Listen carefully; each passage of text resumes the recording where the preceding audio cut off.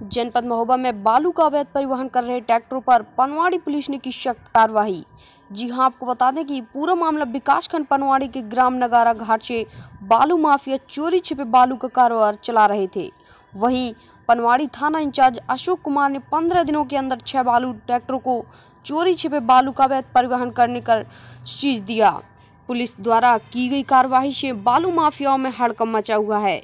जी हाँ, आपको बता दें कि बालू न मिलने पर ग्राम पंचायतों के हो रहे कार्यों में रुकावट पड़ी हुई है। शीशी निर्माण, आवास निर्माण, शौचालय निर्माण जैसे अन्य कार्य भी रुके पड़े हुए हैं। महोबा से यूपी 24 न्यूज़ के लिए जिला संवाददाता संतोष कौशिक की रिपोर्ट।